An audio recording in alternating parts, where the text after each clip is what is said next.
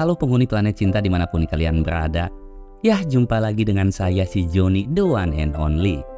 Di video kali ini saya akan merangkum sebuah film yang dibintangi oleh neneng Nicole Kidman, Zoe King, dan juga Akang Zac Efron. Film ini mengisahkan tentang aktor muda tampan Hollywood yang malah jatuh cinta dengan janda berusia 50 tahun. Apakah cinta mereka ini akan menyatu? Sebelum kita lanjut bagi kalian yang suka dengan channel ini, jangan lupa like, subscribe, dan aktifkan juga lonceng notifikasinya. Tanpa banyak cincang keling lagi, siapkan posisi jauhi keramaian, hindari godaan mantan, dan kisah pun dimulai.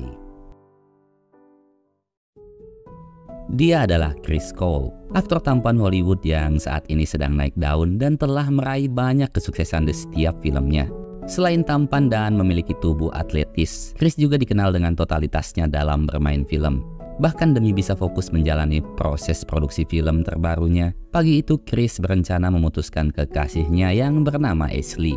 Chris juga bahkan telah menyiapkan hadiah spesial agar Ashley nantinya tak terlalu sakit hati.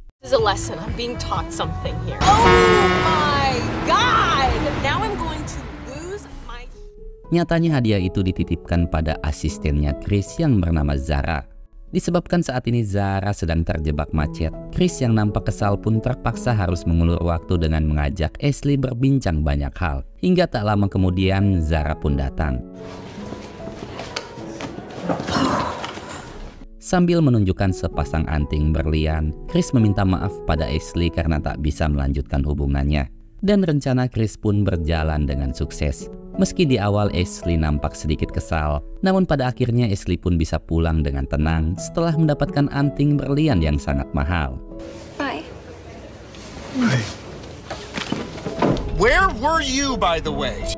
Di dalam mobil, Chris mengomeli Zara karena selalu lalai dalam menjalankan tugas. Namun di balik semua itu sebenarnya Chris ini sangat menyayangi Zara. Sehingga saat Zara mengancam untuk resign, Chris pun dengan tegas langsung melarangnya. Chris selalu curhat tentang ketakutannya dalam menghadapi produksi film terbarunya.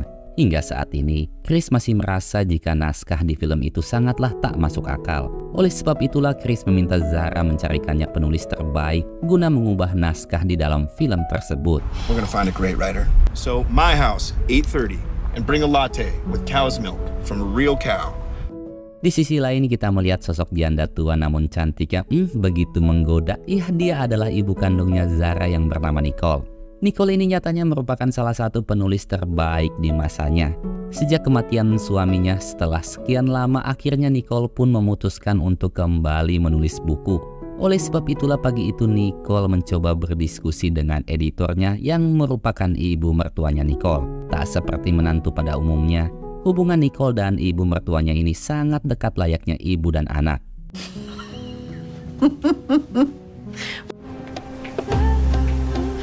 Sepulangnya ke rumah, Zara curhat pada Nicole tentang karirnya yang tak ada peningkatan sama sekali. Sebenarnya tahun lalu Chris pernah berjanji akan menaikkan jabatannya menjadi asisten produser.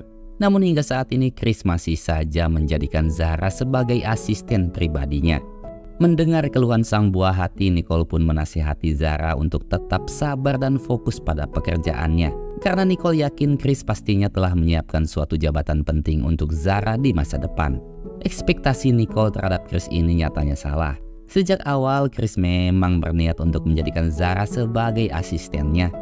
Mengingat Zara ini selalu mau memenuhi segala keinginannya Chris. Bahkan saat tengah malam ketika Chris meminta Zara membeli jengkol di Indomaret, Zara pun bersedia untuk melakukannya. Feel free to grab that. What does that mean? I don't know. Anything, anything. You know what I'm saying, all right? Esok pagi sesuai dengan perintahnya Chris, Zara mendatangi dan membujuk penulis bernama Stella untuk merevisi naskah filmnya Chris. Awalnya Stella menolak karena ia sedang sibuk dengan bisnis pakaiannya. Namun setelah Zara terus membujuk dan meyakinkan bahwa film itu pastinya akan sukses, Stella pun bersedia melakukannya. Setelah itu Zara menuju kediaman Chris seperti biasanya. Namun sesampainya di pintu gerbang, Zara tak bisa masuk dikarenakan si Chris ini telah mengganti password pintu gerbangnya. Hal itu Chris lakukan karena ia kesal dengan Zara yang selalu datang terlambat. Meskipun Zara telah menjelaskan bahwa alasan keterlambatannya karena ia butuh waktu untuk membujuk Stella, namun Chris sama sekali tak peduli. Kesal dengan semua ocehannya Chris, Zara pun nekat menerobos masuk dengan melompati pintu gerbang itu.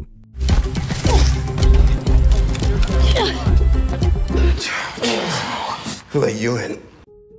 Zara yang sudah benar-benar muak dengan keegoisannya Chris, saat itu juga memutuskan untuk resign sambil meluapkan semua kekesalannya. Selama ini Zara telah berusaha keras memenuhi segala keinginan Chris, dengan harapan Chris mau menepati janjinya untuk menaikkan jabatan Zara. Namun hingga kini yang ia dapatkan hanyalah cacian dan makian dari Chris. Mengingat sangat sulit mencari asisten seperti Zara yang selalu bisa memenuhi keinginannya, Chris pun mencoba membujuk Zara agar mau kembali bekerja. Namun keputusan Zara sudahlah bulat. Lagi pula, untuk apa Zara menyanyiakan masa depan demi artis sombong dan egois seperti Chris? You're fired! Happy to. Fine. Bye. Don't even try and come back. Sekembalinya pulang, barulah Zara mulai sedikit menyesali keputusannya. Namun ketika di hadapan Nicole, Zara mencoba bersikap seolah-olah semuanya baik-baik saja. Zara lalu sengaja mengalihkan pembahasan tentang sahabatnya yaitu Jenny yang ingin datang meminjam gaun milik Nicole. Tak bisa dipungkiri meski Nicole sudah berusia di atas 50 tahun, namun lekuk tubuhnya masih menggoda layaknya anak remaja. Selain itu, Nicole juga memiliki koleksi gaun mahal yang ia dapatkan dari hasil menulis. Zara kemudian curhat pada Jenny tentang dirinya yang sudah resign sebagai asisten pribadinya Chris. Dengan wajah penuh penyesalan, Zara berkata, meski ia sangat membenci Chris, seharusnya ia bisa sedikit bersabar. Karena bagaimanapun, sangat sulit sekali mencari pekerjaan layak di zaman yang serba edan ini. Sebagai sahabat, Jenny justru menganggap bahwa keputusan Zara sudahlah tepat. Karena Jenny yakin suatu saat nanti Zara pastinya akan sukses meski tanpa bantuan siapa pun. Saat malam akhirnya Zara memutuskan untuk memberitahu Nicole bahwa ia telah resign dari pekerjaannya. Zara menyadari jika keputusannya mungkin saja salah, namun apa daya semuanya sudah terjadi. Sehingga Zara meminta saran pada Nicole tentang bagaimana dan apa yang harus ia lakukan saat ini. Bukannya memberi solusi, Nicole di situ justru menasehati Zara. Nicole berkata untuk menggapai suatu tujuan, Zara seharusnya siap menghadapi segala halangan dan rintangan meski itu sesulit apa pun. Only you can answer that, baby. Esok pagi Zara menelepon dan curhat pada neneknya tentang betapa ia sangat ingin meraih kesuksesan di usia muda seperti ayah dan juga ibunya. Meski sadar jika dirinya tak memiliki bakat dalam menulis, namun Zara yakin ia akan meraih kesuksesan di bidang lain, yaitu sebagai produser film. Tentu saja sang nenek pun senang dan mendukung apa yang menjadi impian cucunya. Di sisi lain, Chris perlahan mulai merasakan dampak dari tak adanya Zara, di mana Chris kini nampak kesulitan menjalani berbagai rutinitasnya hingga seminggu kemudian Chris pun memutuskan untuk datang ke kediaman Zara dengan tujuan untuk membujuk Zara kembali bekerja dengannya. Namun karena pagi itu Zara sedang keluar belanja, untuk pertama kalinya Chris pun dipertemukan dengan Nicole. God. You were Zara's mom? Melihat kemolekan dan wajah cantiknya Nicole seketika membuat Chris tenggelam pada rasa takjub yang tak berujung. Sambil menunggu kedatangan Zara, Nicole pun mengajak Chris berbincang ditemani sebotol minuman. Awalnya mereka hanya membahas tentang dunia perfilman, namun lambat laun getaran cinta pun mulai melanda yang membuat Chris dan Nicole memutuskan untuk main kuda-kudaan.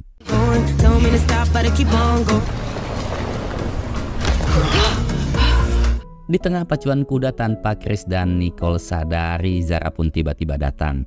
Dan ketika ia masuk ke kamar ibunya, Zara seketika menjerit dan pingsan melihat Nicole yang sedang asik bergulat dengan mantan bosnya itu. Call 911. She's fine. God, you smell. Dizzy? Khawatir dengan kondisi Zara, Nicole dan Chris pun bergegas memeriksakan kesehatan Zara ke klinik terdekat. Namun di sana Zara dibuat kesal karena dokter di klinik itu adalah fansnya Chris. Sehingga dokter itu malah asik berbincang dengan Chris ketimbang memeriksa kondisinya. Fangirl, can I please get some medical attention over here? Sepulangnya dari klinik sebelum masuk, Zara memohon pada ibunya untuk tak lagi menjalin hubungan dengan Chris. Nicole pun langsung menyanggupi hal itu. Setelah meminta maaf, Chris juga memastikan bahwa mulai besok Zara akan bekerja sebagai asisten produsernya. Okay, got it. Never again. Singkat waktu Zara pun mulai menjalankan tugasnya sebagai asisten produser di film terbarunya Chris. Dengan posisinya saat ini tentu saja Chris tak bisa lagi memerintah Zara melakukan hal-hal sepele seperti sebelumnya. Tanpa Zara ketahui, nyatanya Chris dan Nicole ini masih menjalani hubungan. Bahkan malamnya Chris dan Nicole memutuskan untuk berkencan di sebuah restoran mewah. Melihat betapa anggunnya Nicole dengan balutan gaun hitam nan elegan membuat Chris semakin kelepek-kelepek. Wow. And then, um, Sambil menyantap hidangan makan malam, Nicole berkata pada Chris bahwa dirinya tak bisa menjalani hubungan percintaan lagi dengan Chris, mengingat status dan usianya yang lebih tua 16 tahun. Selain itu, Chris juga merupakan atasannya Zara. Mendengar semua penjelasan Nicole, Chris berjanji akan menghargai apa pun yang menjadi keputusan Nicole. Meski tak bisa menjadi kekasih, namun Chris memohon agar Nicole mau menjalani hubungan pertemanan dengannya. Chris selalu curhat tentang kehidupannya di masa lalu. Meskipun ia dikenal sebagai aktor kenamaan yang bergelimang harta, namun faktanya Chris selalu diselimuti kesepian. Sejak kecil Chris tak pernah memiliki teman. Selain itu, Chris juga telah kehilangan ayah, ibu, dan kakaknya yang meninggal sewaktu ia masih kecil. Setelah mendengar semua curahan hati Chris, Nicole seketika tersentuh dan terjebak pada sebuah perasaan yang tak bisa dijelaskan. Begitu juga dengan Chris yang semakin luluh akan pesona kecantikan dan kedewasaannya Nicole. Hingga keduanya lalu terhanyut pada sebuah rasa yang dinamakan cinta. it's about all of us, really.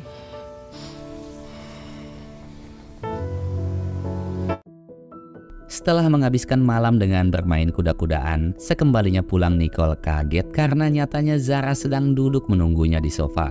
Tak bisa mengelak, Nicole pun mengakui jika ia memang sudah makan malam bersama Chris. Namun ketika Zara bertanya apakah Nicole menjalin hubungan dengan Chris, Nicole pun terpaksa berbohong.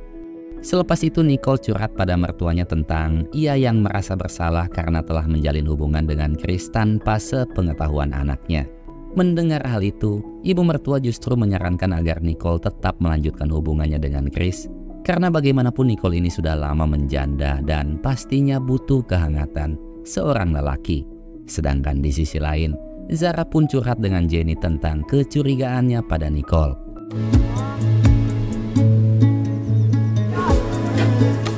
Lambat laun hubungan Chris dan Nicole ini semakin hari nampak semakin mesra. Di waktu liburan mereka pun memutuskan untuk tinggal di sebuah villa dengan pemandangan pantai yang begitu indah. Layaknya dua hati yang sedang memadu kasih, Nicole dan Chris pun menghabiskan waktu romantis bersama dengan duduk di tepian pantai, ditemani hangatnya api unggun dan juga pantulan cahaya senja yang begitu menggoda. Selesai liburan, Chris dan Zara kembali melanjutkan aktivitas syuting filmnya. Namun kali ini Chris mengalami sedikit kendala dalam memahami arahan sang sutradara yang kebetulan berasal dari Prancis. Karena Zara dulu pernah tinggal dan jualan seblak di Prancis, ia pun berinisiatif untuk menjadi penerjemah bagi Chris. Namun ketika menerjemahkan setiap arahan sang sutradara, Zara malah memanfaatkan momen tersebut dengan sengaja menyelipkan kata-kata kasar. Euh, la scène plus d'émotion. It's, it's bullshit. She doesn't believe you. Ugly you are inside and how much. Okay? Yeah, okay. Oh, oh yeah. Okay with me, yeah. Di waktu istirahat, Chris memutuskan untuk berendam di dalam es sambil memberitahu Zara bahwa ia telah menemukan penulis naskah yang tepat untuk filmnya. Sehingga saat itu juga Chris meminta Zara untuk segera memecat Stella. Sepulangnya ke rumah, Zara bertemu dengan Jenny yang kebetulan datang untuk mengembalikan gaun pinjamannya. Dengan wajah lesu, Jenny lalu curhat tentang perlakuan calon mertuanya yang seakan-akan tak menyetujui hubungan Jenny dan anaknya. Namun bukannya menanggapi curhatan Jenny, Zara di situ malah mengalihkan pembahasan dengan menceritakan tentang Chris yang tiba-tiba mengganti penulis naskah filmnya. Hingga ketika Zara akan menyimpan gaun milik Nicole, tanpa sengaja ia menemukan naskah film yang tergeletak di mejanya Nicole. Dan betapa kecewanya Zara karena ternyata Nicole sang penulis naskah filmnya Chris. Menyadari jika Chris sedang ada di sebuah pesta, Zara pun bergegas mengajak Jenny ke pesta itu guna menangkap basah Chris dan juga ibunya. Awalnya mereka tak diizinkan masuk karena tak tercantum dalam daftar tamu undangan. Namun untungnya ada sopir pribadinya Chris yang membantu mereka untuk masuk. Hingga tak lama kemudian, Zara pun melihat Chris dan ibunya yang sedang bermesraan. Which lie were you gonna tell me about? Was it this or was to fall for this lump? It's not Don't her fault. speak. Okay. Sontak Zara pun meluapkan semua emosinya karena Nicole begitu tega membohonginya selama ini. Terlebih lagi Nicole kini telah menjadi penulis baru bagi Chris yang membuat Zara merasa tak dihargai sama sekali. Selama ini Zara selalu berusaha untuk mencoba lepas dari bayang-bayang kesuksesan ibunya di masa lalu. Namun ketika memiliki kesempatan untuk membuktikan kesuksesannya di bidang film, justru Nicola yang menghancurkan harapannya itu. Hingga kekecewaan Zara pun semakin memuncak ketika Nicole menyamakan lelaki bajingan seperti Chris dengan mendiang ayah kandungnya.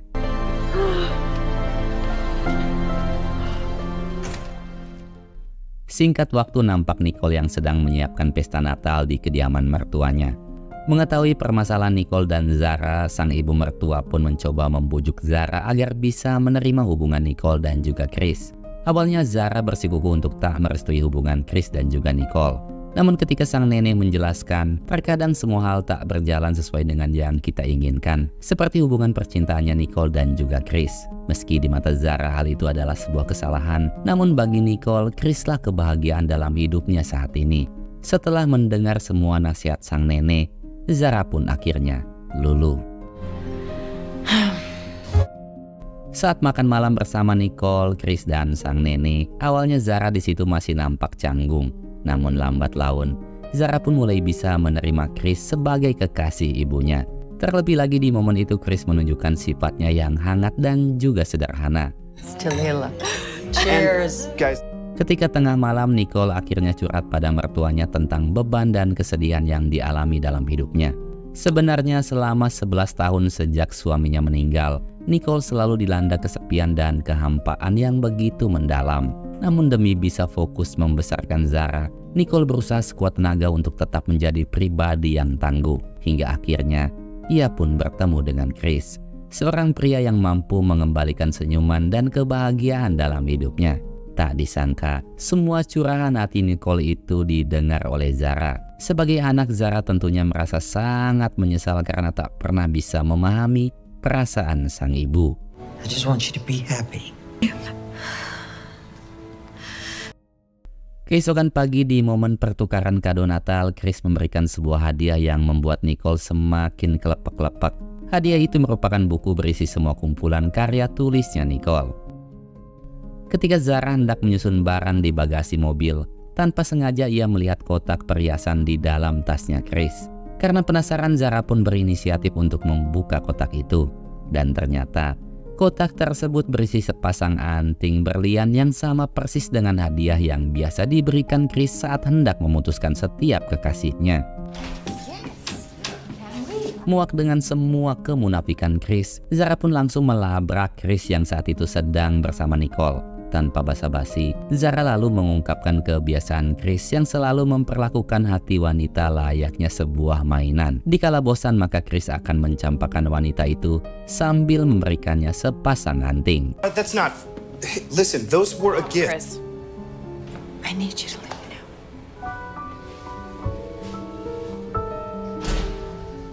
Dibaluti penyesalan dan rasa bersalah yang teramat dalam, Zara lalu berinisiatif mendatangi Jenny guna menceritakan tentang permasalahannya dengan Chris. Namun kali ini Jenny nampak mengabaikan Zara.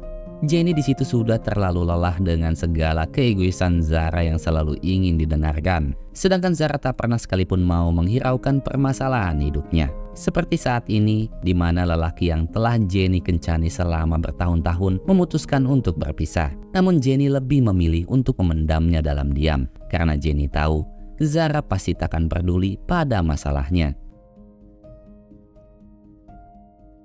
Zara pun di situ seketika dibaluti penyesalan dan rasa bersalah yang teramat dalam. Zara lalu memutuskan untuk menenangkan diri dengan tinggal bersama neneknya. Sedangkan di sisi lain, baik Nicole maupun Chris sama-sama nampak dibaluti kegundahan, kekecewaan, dan juga rasa rindu yang tak menentu. Tepat di malam tahun baru, Zara memberanikan diri untuk kembali mendatangi Jenny. Zara lalu meminta maaf atas semua keegoisannya dan memohon agar Jenny mau tetap menerimanya sebagai sahabat. Melihat ketulusan di wajah Zara, Jenny pun luluh. Seminggu kemudian Zara melanjutkan aktivitasnya sebagai asisten produser. Namun ketika syuting akan dimulai, sang sutradara bingung karena Chris tak kunjung datang. Mengetahui hal itu, Zara lantas berinisiatif mencari keberadaan Chris di kediamannya. Namun sesampainya di sana, nyatanya Chris ini sedang duduk termenung meratapi semua kesalahannya pada Nicole. Chris lalu memberitahu Zara, saat itu ia memang sempat berniat untuk memutuskan Nicole. Akan tetapi hal itu bukan karena ia tak mencintai Nicole, melainkan Chris menganggap jika dirinya tak pantas untuk wanita sebaik Nicole. Selama ini hanya Nicola satu-satunya wanita yang bisa membuat Chris merasakan apa artinya cinta. Mendengar penjelasan Chris, Zara pun seketika tersentuh.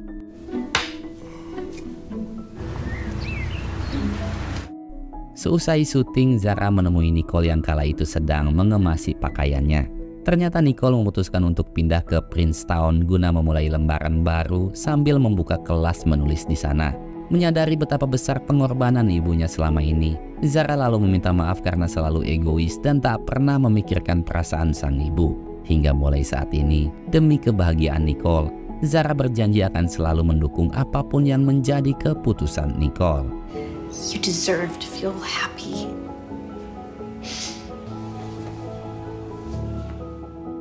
Singkat waktu, Zara berinisiatif mengajak Chris berbelanja di sebuah supermarket. Semua itu Zara lakukan karena sudah sekian lama Chris tak bisa merasakan kehidupan seperti orang normal pada umumnya. Namun nyatanya semua itu hanyalah siasatnya Zara untuk bisa mempertemukan kembali Chris dan juga Nicole. think so. Oh, oh. Hi. Huh? Di tengah suasana yang sangat canggung, Zara menjelaskan bahwa semua ini memanglah siasatnya untuk bisa mempersatukan keduanya. Karena Zara meyakini baik Nicole maupun Chris masih sama-sama saling mencintai. Setelah itu, Zara pun membiarkan Chris dan Nicole untuk berduaan. Two. Di momen pertemuan yang begitu canggung, Chris meminta maaf pada Nicole atas semua kesalahannya selama ini. Chris mengungkapkan, dulu ia memanglah lelaki playboy yang selalu mencampakkan wanita. Namun sejak bertemu dengan Nicole, semuanya pun seketika berubah.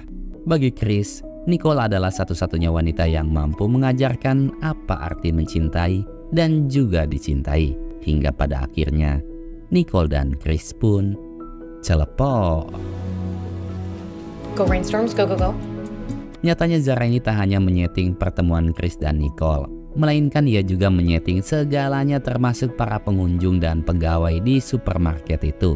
Setahun kemudian nampak Zara yang kini menjabat sebagai produser utama dengan Stella sebagai penulis naskah filmnya. Nicole kembali menjadi penulis dan kini sedang sibuk launching buku terbarunya. Begitu juga dengan Chris yang kembali disibukkan dengan proses syuting film. Hingga tiba-tiba Film pun selesai. Sungguh ending yang sangat mendribalkan. Problematika percintaan si Chris dan Nicole ini mengajarkan kita bahwa cinta itu tumbuh di dalam jiwa tanpa mengenal batas usia. Ahiu, ya lagi pula siapa sih yang gak kelepek-kelepek sama nenek Nicole Kidman yang meski sudah tua tapi masih menggigit. Apalagi di masa mudanya begitu wadidaw. Overall film ini aku kasih nilai 7,5. Ya, terima kasih buat kalian semua yang sudah meluangkan waktu untuk menonton video ini. Saya Joni beserta seluruh staf Planet Cinta pamit pulang wassalam dan sampai jumpa lagi. Awuk awuk.